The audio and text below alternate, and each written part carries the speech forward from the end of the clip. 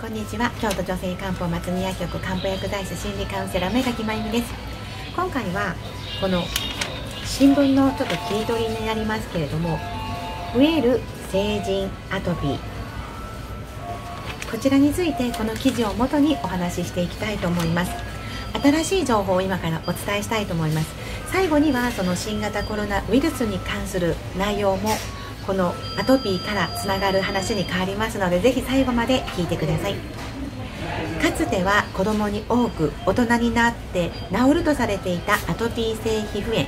今は全世代に及ぶ病気になり高齢者でも珍しく亡くなりました。広島大大学院の秀教授はこういうふうに言われています。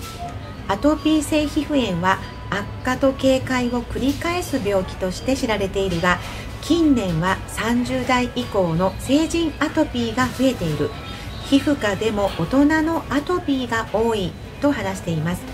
症状はかゆみのほか睡眠障害や抑うつ不安障害も見られ生活の質に大きな低下が生じます。また鼻炎などのアレルギー疾患の合併も見られ大人では喘息やジンマシンが多いと言います。アトピー性皮膚炎患者の皮膚を見るとここからちょっと難しくなりますが聞いてください。マスト細胞と呼ばれる免疫細胞の数が増えアレルギーを起こすタンパクである IgE が高くなって1型アレルギーの準備段階にあることがわかると言います。もう一つはかゆみを引き起こす皮膚の乾燥でコントロールするには保湿が重要です。血液検査よくアレルギーの血液検査で IgE 300とか1000とか1万高い人はすごい何千とか出ますけれども IgE っていう数字はあの血液検査でもあの調べることができます。この皮膚表面の角層の働きが落ちると水分が蒸発する。このほか細胞からいろいろな物質が出て神経が伸びて感じやすくなっているって書いてあります。結局すごく敏感になってすごくかゆがる人っていうのは皮膚の表面からいろいろな物質が飛び出て神経も伸びるから余計に痒くなる。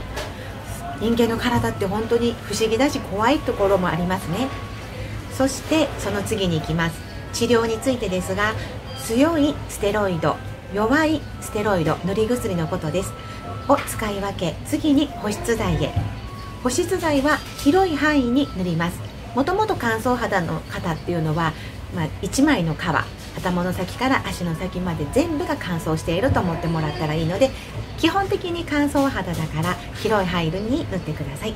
そして寛解といった症状消失を維持することが大事です。収まってきたなマシになったなと思うとすぐやめてしまう人が多いです。ここからが大事です。って書いてあります。そして次です。外用薬だけでは治せない重症なケースには最近重症な大人のアトピー成人型アトピーが増えているということですので内服薬などが開発されています。患者の皮膚にはここは、えっと、広島大の秀先生の、え、話になります。患者の皮膚には多くのリンパ球が集まっています。必ずしもアレルギーを起こすものではないが細胞間で情報を伝達するサイトカインを放出してさまざまな作用症状を起こす。サイトカインのインターロイキン4やインターロイキン31ではかゆみが出る。というふうにお話しされています。このサイトカインを抑制するために昨年暮れに発売されたのがジャック阻害薬と呼ばれるタイプのお薬。お薬の名前はオルミエント。と言いますがこれはすでに関節リウマチの治療薬として使われており受容体にサイトカインが結合するのを防ぎ免疫の過剰な活性化を抑制します。秀教授は次のように言っておられます。重症最重症難治症に使うべきこの内服薬のことです。これまでの方法で治療できなかった人に役立ちそう。内服薬で細胞の中に入って効果を発揮するので早く効き効果も高いと話しています。飲み薬の名前はオルミエントです。それではその次の話が興味深いです。これに先立ち昨年6月には軟膏のジャック阻害薬コレクチームという名前です。これが登場しています。外用薬として皮膚に塗布します。オルミエントという内服薬はこの4月にはなんと新型コロナウイルス感染症の治療薬としても認可されました。患者の肺患者の肺細胞で起こるとされるサイトカインの暴走を抑える効果が期待されます。新型コロナウイルスには重症な肺炎を起こすと言われています。その時に治療薬として今脚光を浴びようとしているオルミエントこの4月にえ治療薬として認可されたすごい情報ですよね。今日はこれで終わります。少しこのグラフとか表があるので YouTube ではそれも分かるように紹介したいと思います。最後までご視聴ありがとうございます。チャンネル登録もよろしくお願いします。